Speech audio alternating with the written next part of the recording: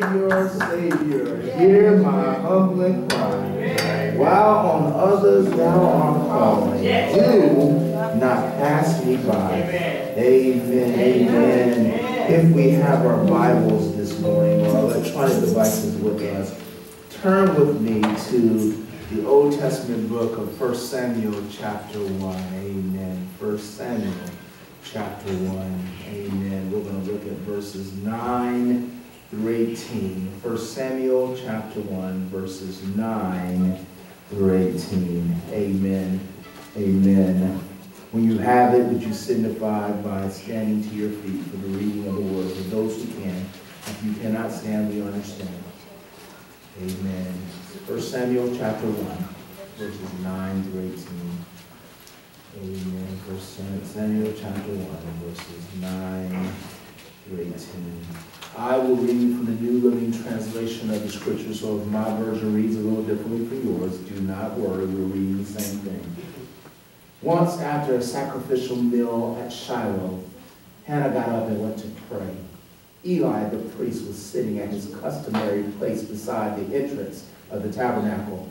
Hannah was in deep anguish, crying bitterly as she prayed to the Lord.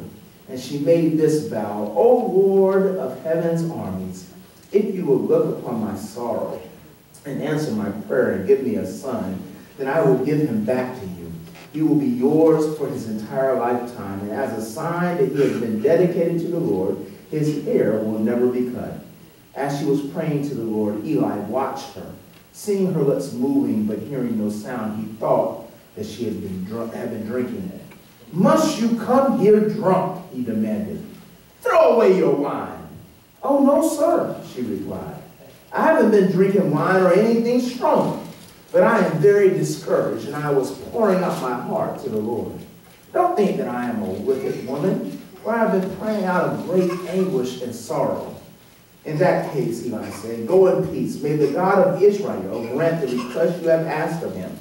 Oh, thank you, sir, she exclaimed. Then she went back and began to eat again, and she was no longer sad. Thus far, the word of God. You may be seated. Amen. Amen. The title of our sermon this morning is In Times of Desperation, Prayer is the Answer. In times of desperation, prayer is the answer. Now, I'm about to date myself. I'm about to show you how old I am because I'm and we'll see how old some of us are in here. Because when I was growing up, one of my favorite cartoons to watch in the afternoon was Popeye. Amen. For those old enough to remember, Popeye was this ugly, short, squat, rotund sailor, all right? He used to have uh, that wooden cob pipe in his mouth, and he used to talk with a chuckle, and, and, and actually used to sound geeky. You know, uh, and he was in love with Olive Oyl. Olive Oyl stood eight foot three inches tall to his two foot seven inch frame. Amen. Uh, but she loved herself some Popeye. Amen. Those of us old enough to remember will remember that Popeye had an arch enemy, a nemesis. His name was Brutus. Brutus was a big, burly, bearded man. I mean, he was as wide as he was tall. And unfortunately for, for Brutus, Olive Oyl did not love him the way that he loved her.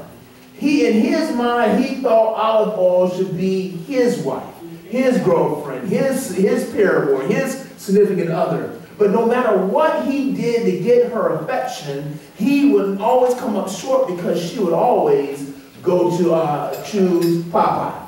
Now, this whole thing of this cartoon was that Brutus, every day, in the 22 minutes that the cartoon was on, in the half hour segment, would come up with some kind of plot that was supposed to take Popeye out.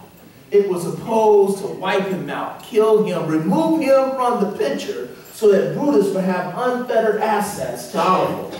And what we would see every show was that right when Popeye was in that predicament, looked like it was going to take his life, he would pull out of his pants this huge can of spinach.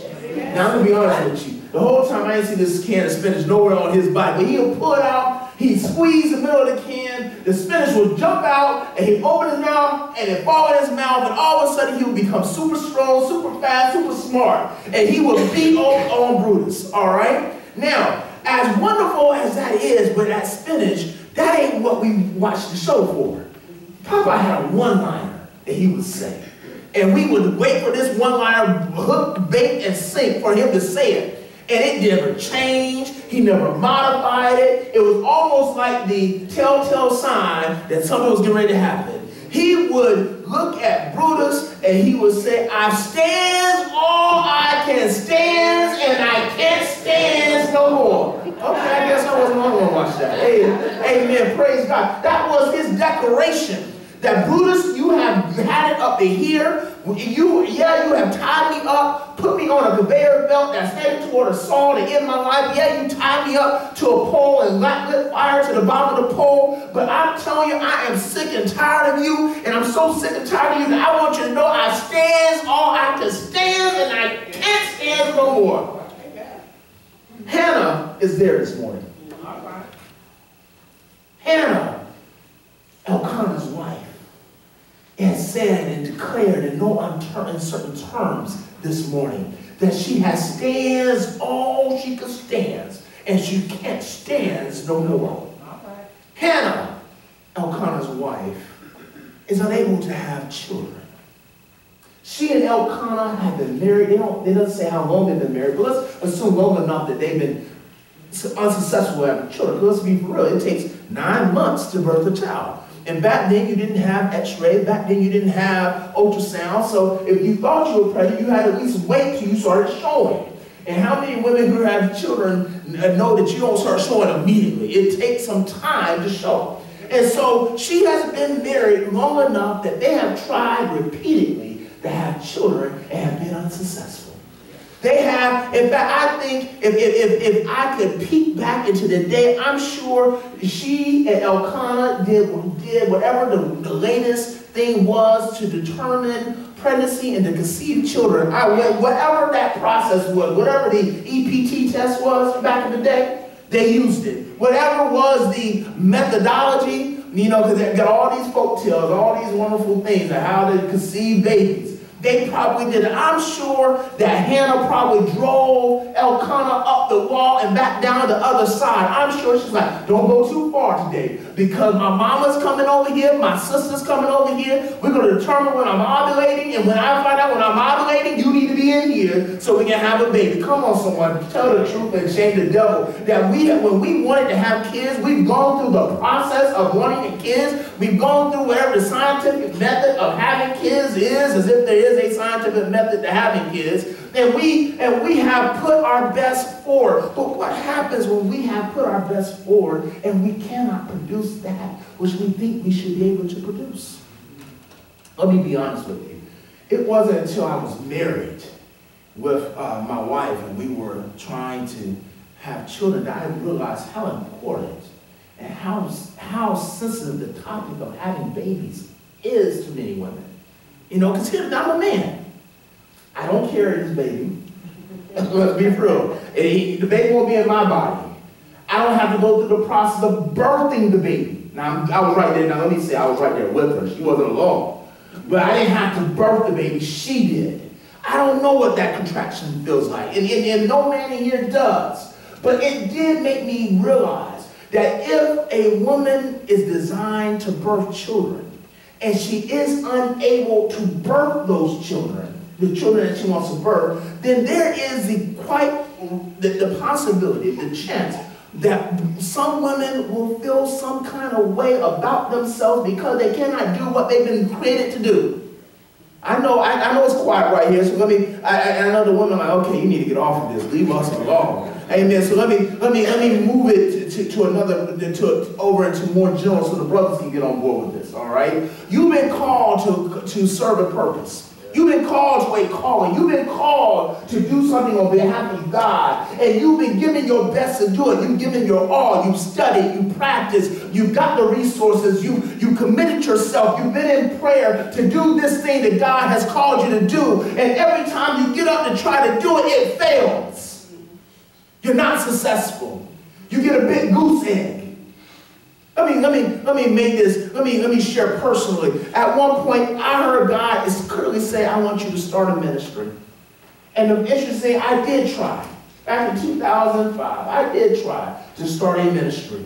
And I mean, I studied, I prepared, I preached like I preach now. You know, have my, have my crackers and my grape juice for, for, for, for Holy Communion. And no matter what I did, it failed miserably. All right? At one point when I had six members, you thought I had 60,000. Brothers and friends like, hey, we're going on. No, I can't go right now. I got to go home and study because I got to be prepared for my members. And even then, God put a pause on that thing. And he said, it's not time. It didn't work out. The potential for me to say, I give up. I give up, God. I'm just going to go back to being who I was, go back over here, was real high, was real great.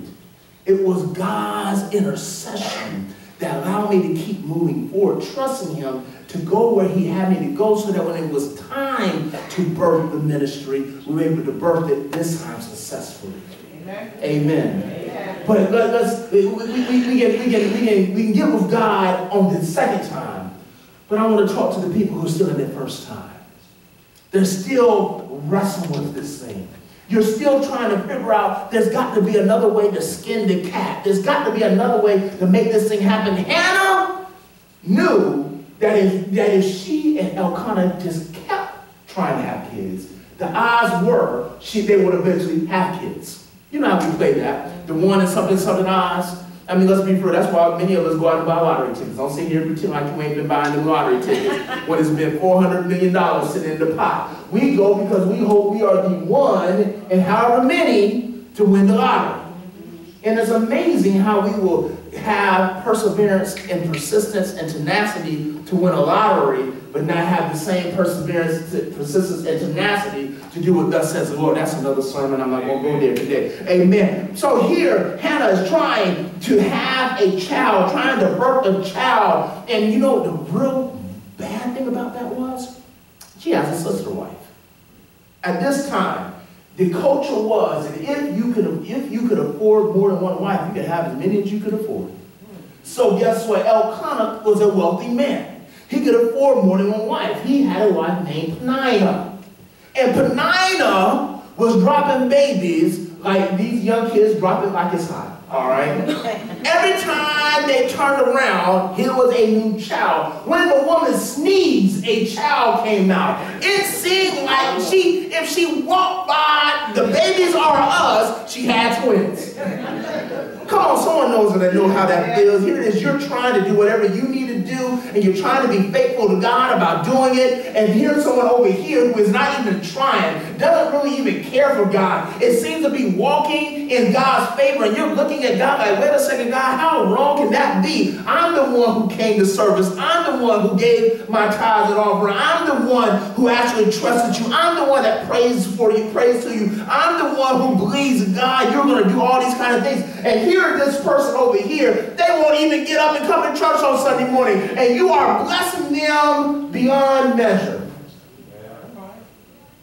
Something wrong with that, y'all. If I ask God, I say, God, are you that cruel? Are you that uncaring? Are you that capricious? that God, you will bless those who do not call you by, do not call by your name, do not love you like we do. And here it is, you won't bless those who, who, who, who? I mean, God, what, what is going on here? I mean, for real, think about this. You are out on the street talking and someone says, all right, so what about him? How do you explain that? God is love. God is a way maker. God is a door opener. And I'm going to have babies. So we realize here, and, and, and what, what I was realizing when I was reading through this scripture here, was that God has stopped Hannah from having babies. Not that she couldn't have them physically.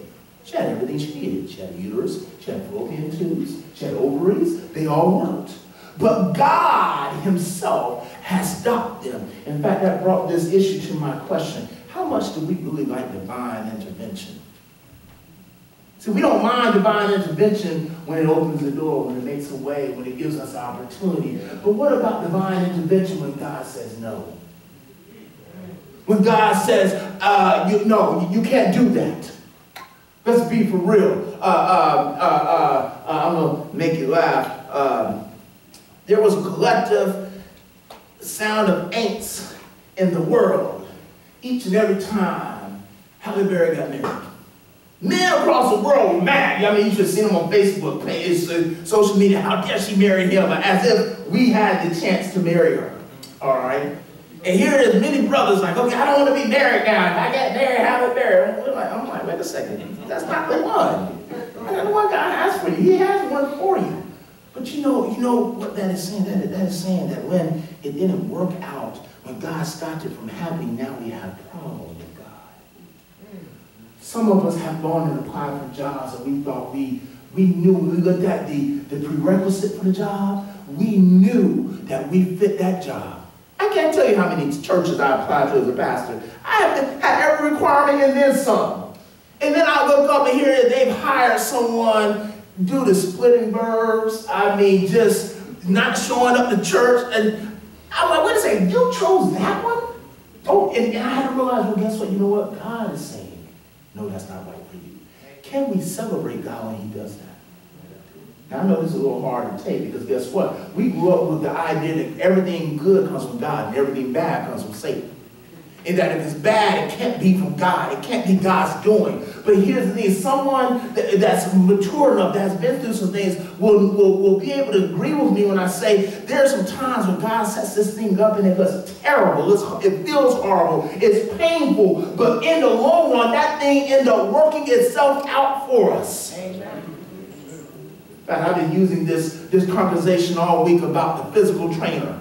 No one likes a physical trainer when you first meet him or, or her. They're the worst people in the world. Ten more. Ten, you give me ten more. ten more push-ups. You do ten more push-ups. I mean, they go home, you're hurting, you're in pain, you ain't got nothing nice to say about the trainer, and this goes on for weeks, for months, and that you don't realize how valuable and how wonderful your trainer is until the night before or the night of the dance, the night of the, uh, the banquet, the night of the ball, the night of the event, and you put on that gown that you've been wanting to get into or that suit you want to get into, and then you find out how too big that gown is. Not only has the trainer worked you back down the size, the trainer worked you past where you were. So now you're sitting here, now is now, and, and every husband here should know what this, what this feels like. The ball is tomorrow. I don't have anything to wear. Let's go shopping. Come on, every, every, husband here, come on. I got you. I'm gonna protect you. I got you. She's not gonna mess with you. You can you can amen on this, brothers. Amen. Amen. Hey, thank you. Amen. Amen. Praise God. Amen. My, my mother used to make my father drive 200 some miles from one store just to get a gown to go to go to a, a function that she gonna wear one time. And I used to say to him, I said, man, you ain't got to drive that. You ain't got to drive that. Stand up for yourself. Tell her no. And he'd be like, you ain't got to sleep with her. Amen. Amen. God sometimes says no to us. And it doesn't feel good. It doesn't sound good. But are we able to deal with his no? Hannah wanted babies. God said, not yet. Hannah wanted a child to raise. God said, not yet. Hannah wanted to be in the mommy club. God said, not yet. And here it was, we see in the scripture that she is at wit's end. She is, she has had enough. She's upset. She stands all that she can stand. And here it is, she is declaring to God, I don't like this. And I want a child. And you haven't let me have a child that's where we find our sermon this morning because she's in a place of desperation. She's in a place of wanting more and not being able to get more. And so the thing is, God wants us to look at this and, and deal with this because someone is in a place of desperation too. Now, I know you're dressed up. I know you got your smell goods on, you got your look goods on, you look like a brand, all like brand new $100 bills. I'm trying to figure out how I can fold y'all up, put you in the wallet, take you home, all right? I know you, I know we all look that way, but someone here, you know you are at a desperate place. You're here, you've given it all you can give, and if things don't change, something you think something bad's to happen. And God says it's in our times of desperation that prayer is the answer. So we have a couple points, and then we'll get out your way. Amen. Praise God. Uh, the first point is prayer is submitting to God. Prayer is submitting to God. Now, in 1 Samuel chapter 1, we, we, we see the, Hannah's background, that they've been trying to have children, and they haven't had children. The first time we see her pray is when she goes to the tabernacle, okay? Now, my sanctified imagination wants to believe that she's prayed to God before then. The problem is her sound hermeneutics says I cannot make that assumption. That when you're interpreting scripture, whatever's on the page is what it is. Many times preachers like to read something into it. And many times that's how we see his scratching our head. Like, how did you get that? Because we've been eisegeting. We've been reading into the scripture the meaning that we want the scripture to have instead of letting the scripture speak for itself and exegeting, reading out of the scripture what it is the scripture wants us to say. In the scripture, it never says that Hannah spent any time praying to God for this baby. Mm, and I, that caught me. Because you know what we do? We spend so much time trying to work these things out that we need to work out, that God has called us to do, that many times we forget to go to the master before we start trying to work it out, and we spend all our time and energy trying to work this thing out, only to run our, run our fingers to a nub, only to stress ourselves out, and then when it doesn't work out, then when it's not where, where we think it should be, then we pick up the phone and we call God, and here's the thing, we have attitude. We treat God like God is us. If you can do this. That's why I love that scripture when Jesus is talking with the Father, and the Father, and Jesus asks the Father, how long has the Son been like? How long has the demon been possessing him? And he tells him, and then the Father is it, well, if you can do anything. And Jesus says, if, if I am the, I'm the Lord God incarnate, I can do every, everything that I want to do and I do will, to, will for it to be done. I'm saying all that for us to get right now, get this morning, is that prayer puts us in a posture where we are willing to receive what God has for us. I'll be honest with you. Many of us don't want what God has for us. Be, come on, someone tell the truth here with me this morning. Don't let me be the only one out on, on Front Street like this. Come on, thank you, Chris. I appreciate you, brother. Amen. Many of us have an idea of what we want, what we think we need. And the interesting thing, what we think we need is not what God knows we need. And what happens when God says you don't need that, we get upset with God and say, God, how dare you tell me what I need? I know what I need. And then we get upset when God gives us what he thinks we need. Amen. We say it's not shiny enough. It's not expensive enough. You know, and, and people, not everyone's going to run and chase after what this is. But guess what? God doesn't want everyone chasing after what he has for you. He wants them to chase after what he has for them. So sometimes what, you, what you're given does not look good to someone else, so that someone else doesn't steal your blessing from you. Amen. I remember the story of the ugly duckling? Now imagine if you were the person that uh, owned the, the ugly, ugly duckling. And here it is, you, you are a, a goose or a duck farmer or duck herder. And here it is, you got this one duck that's ugly. And here you was you so upset the duck is ugly that you get rid of the duck before the duck it has a chance to mature into a full goose or full duck, whatever it is. And then you come around and you see your neighbor, and your neighbor's got this beautiful goose, this beautiful duck. And you're like, hey man, where'd you get that duck from? I don't remember you. And the neighbor said, remember the ugly duckling? Uh-uh. That's how we that's how we treat the blessings of God that God has given us or God has said, no, you can't have it right now, but take this over here. And we get upset with God because it's not what we want instead of submitting to him, instead of praying, God, not my will be done, but thy will be done. Amen. Don't you know that when you are praying, you are saying that God, I come to you because this thing is so big, so heavy, so, so, so terse that I can't even move it. I need you to move it for me. And the problem I have found for me is that there are times I don't want to believe that I'm capable of doing it. I want to believe that if I put my heart to it, put my mind to it, I can do anything. I got the, I got the rudest awakening about three years ago, my wife and I were talking about, we're going to redo the front of the yard. And I said, okay, let's redo the front of the yard. So I got on my computer and I create this plan, had where the plants are going to be and everything. She said, you think you can do all this? I said, yeah, I can do all this. And so she said, are you sure you can do all this? I said, yeah, babe, I can do all this. I used to do this with my uncle and my, and, and in fact, I used to teach my father how to do this kind of things. And so she's like, well, what do you mean? So I said, I'm going to need a tiller and all this and whatnot, and I'm going to go out there and do it. And so one Saturday, I got up early in the morning, went got the tiller, cut the grass, started going. So she had gone out shopping with her, her mother and, and Ryan. Ryan was a little baby. They come back, I'm laying on the ground like this. I want y'all to see this. I'm laying on the ground like this. And she jumped out of the car, she said, what's wrong, baby? I can't move. I can't move. My body won't move. I'm so hurting. I'm so, it hurts so bad. And whatnot. And so, literally, I had to lay there for about an hour. They left me. And that's how much she loved me. She said, I told you. And left me laying right there in the yard. I mean, people just driving down the street, looking, I couldn't move. Couldn't move. Rude awakening. That guess what? I can't do everything I think I can do. Amen. Now, try this on. One of my friends from college, not from high school, Troy, lost his father doing the same thing. Father had a heart attack in the middle of the yard, working in the yard, dead and gone.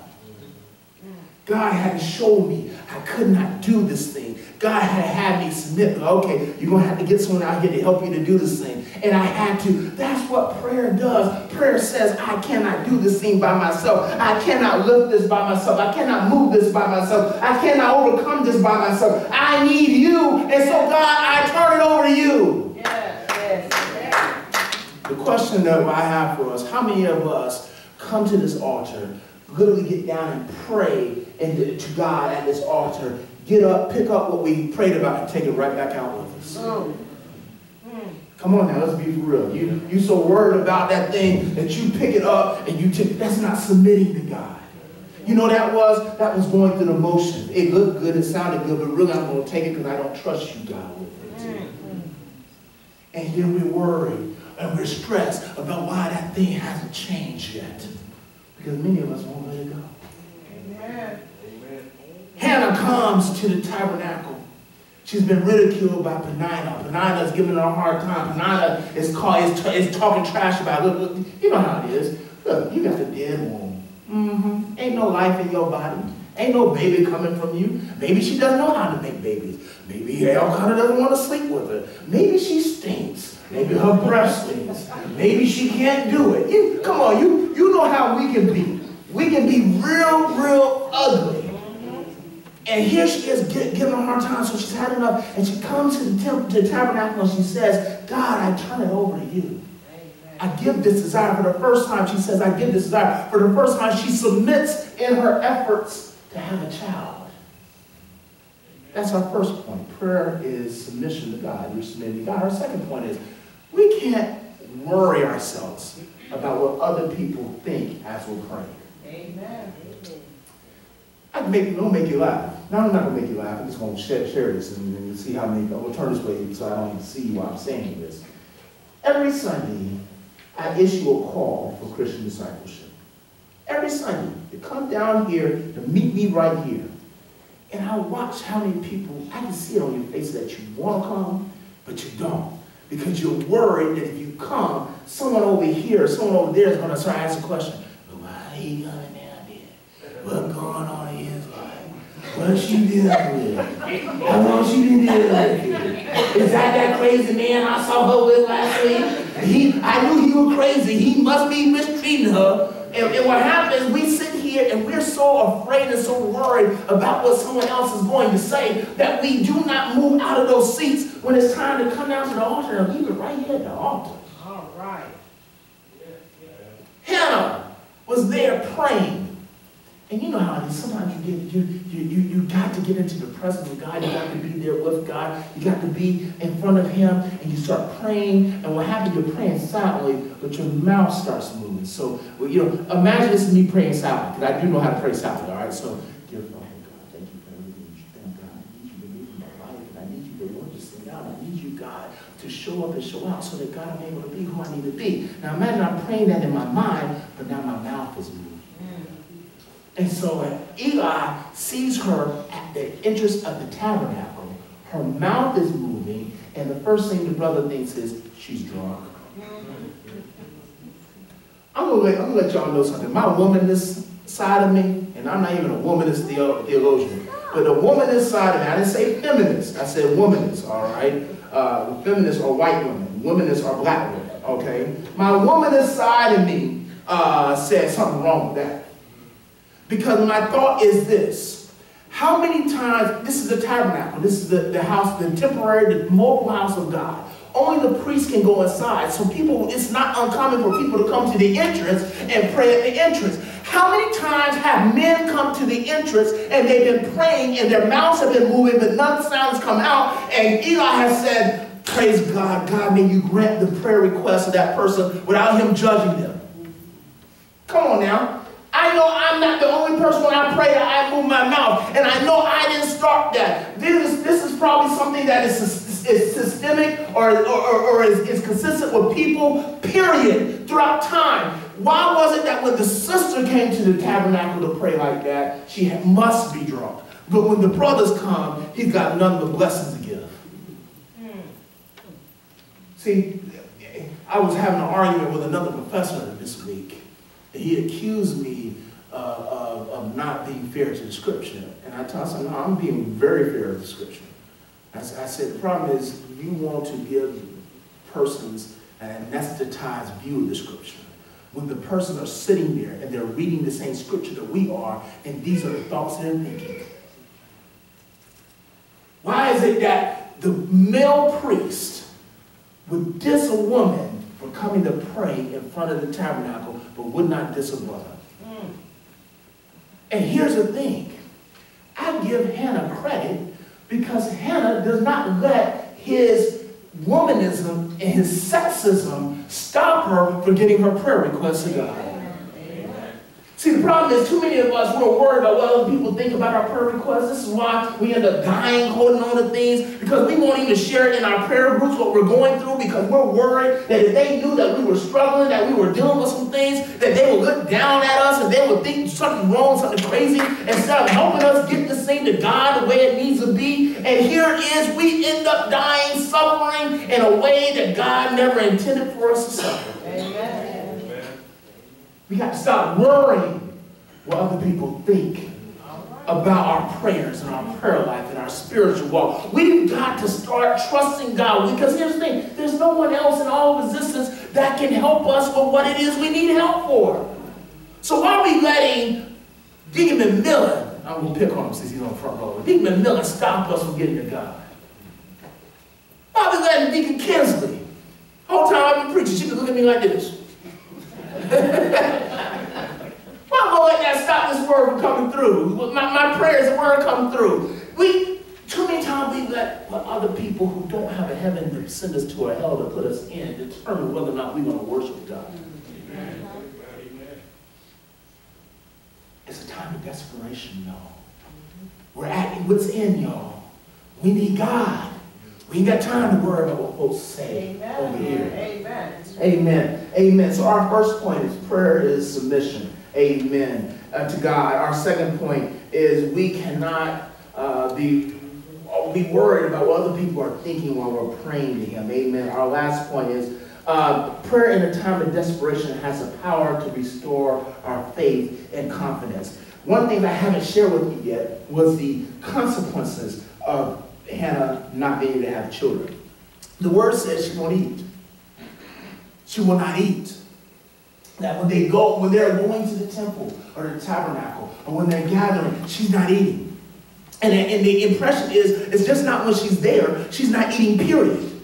Now, I don't have any obstetrician gynecologists in the room, do I? Oh, I don't. Amen. But let me go ahead and tell you what I remember when uh, Nicole and I were pregnant. Amen. Amen. Now, I know how you like that. We were both pregnant at the same time. Amen. Praise God. I tell you, I ate everything that she did that she wanted to eat but couldn't eat. Amen. Praise God. Amen. And so, uh, uh, one of the things the doctor kept asking her when we were there, and she kind of looked at me like, okay, I can see the answer over here, is, are you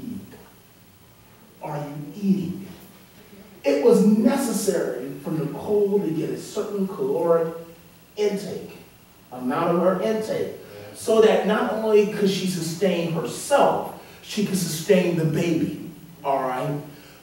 Hannah cannot have, is not, God has prevented her from having children. She's not having children, so she's not eating. Therefore, she does not have the physical material that enables her, if she was to get pregnant, to sustain the baby. She, her own body is eating it, eating itself up. Because you know what happens when you don't eat, your body starts eating your fat. Yeah. And your stored away food. And so here it is, her body is eating with. I bet that when she was at that tabernacle in front of Eli, she probably was 95 pounds. I bet she was as skinny as she could be. I was all sitting there like, girl, how you do that? Amen. Come on, somebody. You see a skinny woman person, we say, how you do that? And here she is, she at us like, how you do that? Amen. And, and, and, and she's not eating. So here's the even if her body wanted to get pregnant, it won't get pregnant because her body says, I can't sustain this. The consequences of worry. Now come on, tell the truth and shame the devil. There's some of us right now that are not eating, not taking care of ourselves, not exercising, not even resting because we're so stressed over how we're going to work something out. I was at a conference the last two days, a legal conference. I'm sitting beside this woman at the conference today. They finally gave us lunch. They used to make us go out to get lunch, but now they finally gave. So we're eat, we're eating, and so she tells me she works for a biotech company. And here's and the thing is, she's she's worked for several companies. In fact, the last couple of companies, Pfizer has bought them all. All right. And so she said, "This is my thing. I'll start a company. I'll get it up and running, and some pharmaceutical company will come on to buy it." I said, oh, that's interesting. She said, but I'm stressed right now. I said, why? She said, because I have to go on Wednesday and make a presentation to some donors to, to, to uh, make, to donate so that we can afford to do the biotech research. I said, really? And so she was talking to some guy, said, you need to tell her to rest. I said, all right, God, this is going to be real awkward. She doesn't know me. It's going to sound real crazy. God said, what did I tell you to do? I said, okay, God, I'll tell her. So she started talking to her. I give her a look, and she's like, what's wrong? And I said, God told, has told me to tell you to rest. And she closed her eyes and she dropped her head.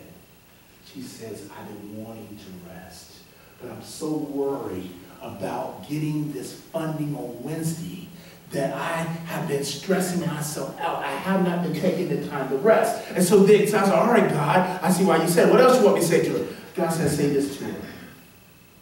A poor presentation because you're tired it's just like you're not preparing at all. Amen. Amen. Let me tell you something. I, I was teasing uh, uh, uh Dr. Rembrandt and Deacon Rembrandt about that, but let's be for real. And I think I took teach you one Saturday at, at, at, at choir rehearsal.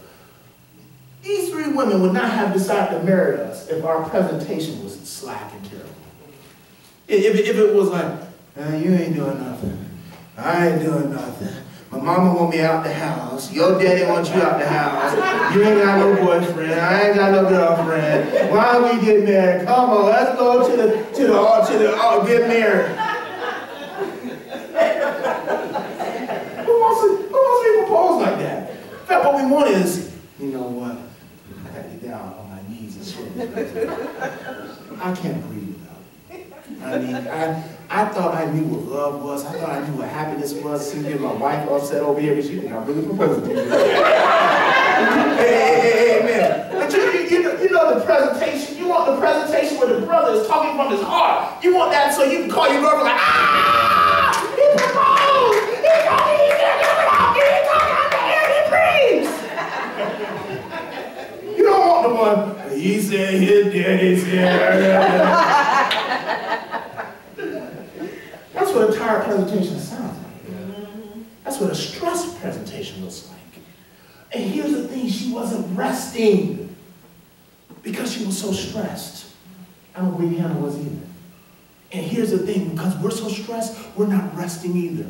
How many of us lay our heads down to go to sleep and we're still worried about that thing? And even while we're sleeping, it's in our dreams. And when we wake up the next morning and we're so tired because in our dreams we've been fighting with the thing that we've been fighting while we're awake. And so when we get there, we look like death warmed over. prayer in a time of desperation has the ability to restore us to where God would have us to be. Because check this out.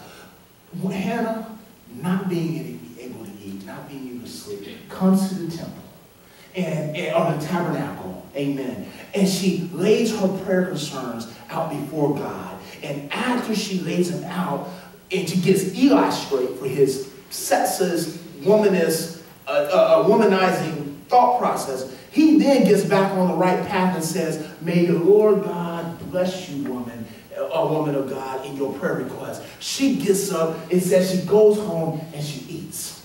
Her husband couldn't get her to eat. And her, in the words, her husband gave her a choice portion.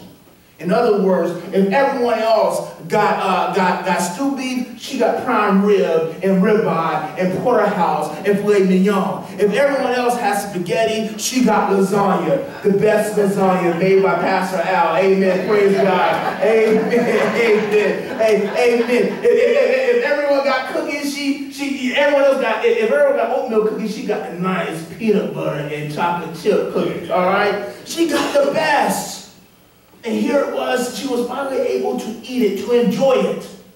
And the wonderful thing about our God is he doesn't just let her have, be restored in the sense of her mental well-being, her psychological well-being, but physically you know she was restored. Because as she's eating, God is adding to her body. She's giving her body what it needs so that when the body gets pregnant and has a baby, it can sustain the baby. Not only that, but God ends up letting this woman get pregnant that now when Elkanah comes to her, talking about, hey, what you doing? Uh, you, you sleep? Come on, come on, husbands. Let's be for real. Right, okay, I'm the only one. Amen. Amen. To tell the truth, I'm the only one. What you doing? You sleep? Amen. Praise God. Now when that conversation happens in the middle of the night, guess what? The next morning she's in the bathroom throwing up saying, I think I've got some news to tell you, baby. I think I'm pregnant. And she's able to give birth to what becomes one of the greatest prophets in the Bible, Samuel. It's Samuel that God uses to anoint Saul. It's Samuel that God uses to anoint David and to get him straight being a king. It's Samuel that God ushers in this whole idea of kings or, or, or, or monarchy for Israel. This prophet is so important to, to Israel that Samuel, God chooses you Samuel. And here's the funny thing, he had priests there. Eli was already there. Mm-hmm. But Eli had fallen short of the job. He had appointed his son, Hophni and Phinehas, to be prophets. They were evil. They were crooks. They were criminals. They were stealing money and perverting justice. God wanted to do a new thing. And her submission in prayer allowed God to do a new thing because God was able to birth a new kind of prophet that set the stage for prophets after that. Nathan became a prophet after that and, and really set that stage. Elijah became a prophet after that. Elisha, they are all following in the footsteps of Samuel. Samuel important to the will of God that he, he has become a model of what good, good prophetic service looks like. What is God doing with you? What kind of model is God creating in you? Here is, you think you're just going through living your life the way you live your life, and I'm through here. Uh, but guess what? God is using you to set up a model, a model of living, a model of believing, a model of faith, a model of ministry. And here it is, while you are doing your best to put two and two together to make it equal 10, God is using it and he's multiplying it to 100. And when you sit back and look at how did I get at 100? Because I know two and two don't equal 10, but you made it 100, God. We would then realize that God is using us to create a standard, create a model that others can follow and that others will be able to serve him in the same vein. What if you as a teacher are now the model of teaching? What if you as a doctor are now the model of being a doctor? What if you as an engineer and now the model of being an engineer? You don't know what God has in store for you. Amen. Amen. But if you would just trust him and spend some time in prayer, God will not only restore you, but he'll make you into a model. Amen. Amen. Amen. Amen. Let's do this.